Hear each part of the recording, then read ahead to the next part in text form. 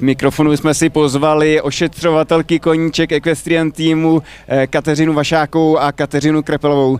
Tak eh, jaké to je starat se o koně eh, v rámci Global Champions League? Tak já bych řekla, že to je hlavně potěšení, je to nějaká podsta, zásluha, bych řekla, dostat se na takovýhle závody. Stane se to úplně každému a myslím, že si to Kačka zaslouží ještě víc než já a já jsem ráda, že jsem se taky sem dostala k tomu. Katka Krpelová dokonce letěla přímo s koní, vůbec poprvé. Eh, jaké to bylo? No, bylo to částečně náročné a částečně příjemná zkušenost. Koně to zvládli výborně, v době letu jsou v pohodě, mají se lépe, bych řekla, než na kamionu, jenom přistávání je trošku jakoby náročnější, ale zvládli to dobře. Pojďme si popsat cestu do Mexika. Jak probíhá, jak dlouho trvá, eh, kde se koně nakládají na letiště a jak vůbec ten proces eh, je zorganizovaný. Takže naše koně vyrazili eh, z Prahy do Cách, kde byly všechny koně, které odletají do Mexika schromážděny.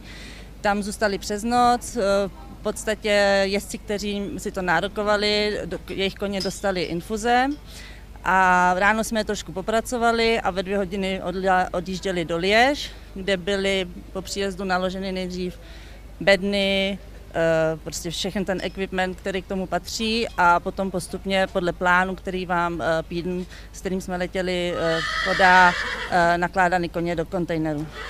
Co všechno se smí s koňmi vzít do letadla? Ten soupis musí být velmi přesný.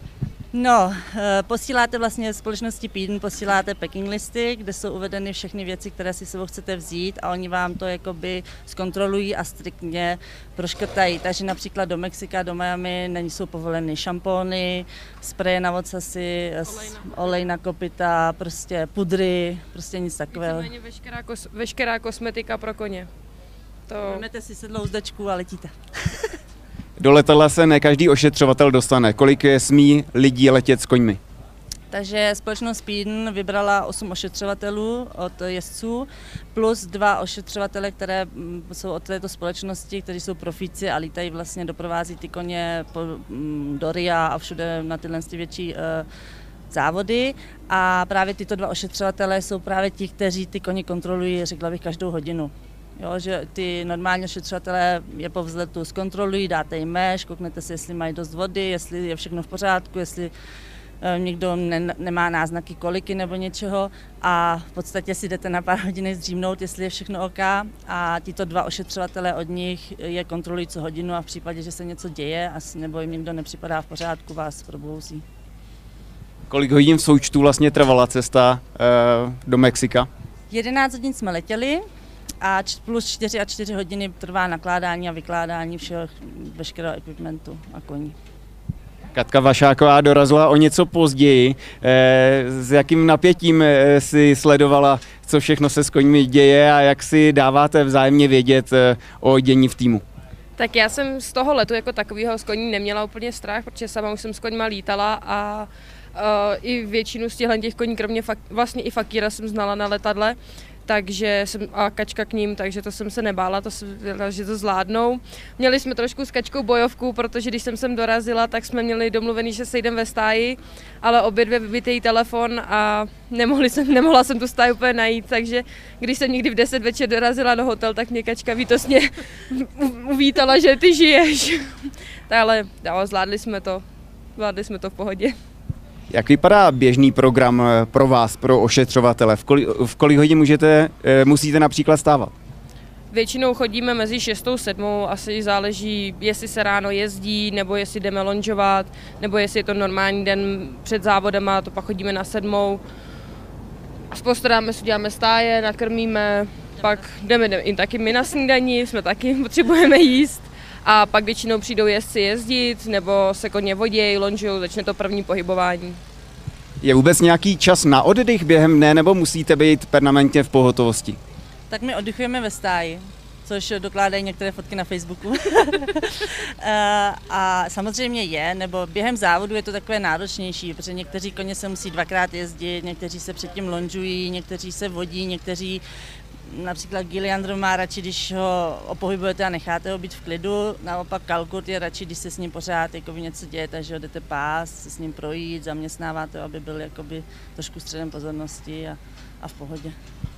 Jak je těžké to všechno zorganizovat ve stáji, eh, mít všechny cajky v pořádku, mít všechno přehledně uspořádané. Eh, je v tom nějaký přesný systém? Tak já bych řekla, že každý ošetřovatel má svůj systém, jak má zorganizovanou bednu, jak, jak jestli meje si uzdečky v průběhu dne, kdy má čas, nebo jestli to všechno nechá na jednu velkou hromadu na večer. Je to asi každý od každého a je to asi taky nějakou dobou, jak už to člověk dělá, tak si najde svůj systém. No a jak hodně se e, stíhají ošetřovatele družit v rámci ekip, protože určitě jste asi taky jedna velká rodina, jezdíte většinou na stejné závody. E, komunikujete spolu pravidelně? Tak je to různé. Samozřejmě jsou určité ekipy, nebo vy máte přátele v, v rámci těch eh, závodů, kam jezdíte. Takže když jezdíte více na dvouhvězdové závody a potkáváte ty samé jezdce, tak samozřejmě potkáváte i ta samé ošetřovatele, ale Třeba tady taky máme pár známých, ale je to takový více spíše neznámá opět, protože jsou to jakoby úplně jiní lidi, jiný, protože většinou každý uh, jezdec má i více ošetřovatelů, jo, a ten jeden jezdí na ty pětihvězdičkový, ten druhý na ty dvouhvězdičkový, ale v finále je to jedna velká rodina a snaží se jeden pomoct druhému, což se potvrdilo i teď při letu, kdy vlastně máte na starost 48 koní a vás na to 8, takže kdyby ten jeden řekl, tady to, na toho kašlem, na tomu se dívat nebudem, tak eh, to odnesou spíš ty koně než ty lidičky a to se nedělá. No. Takže je to jedna velká rodina ve směs. No tak my vám přejeme, aby eh, závody klapaly úplně v pohodově, aby pro vás nebyly žádné problémy a stíhali jste si taky užít eh, tu závodní atmosféru. Díky za rozhovor. Děkujeme. Děkujeme.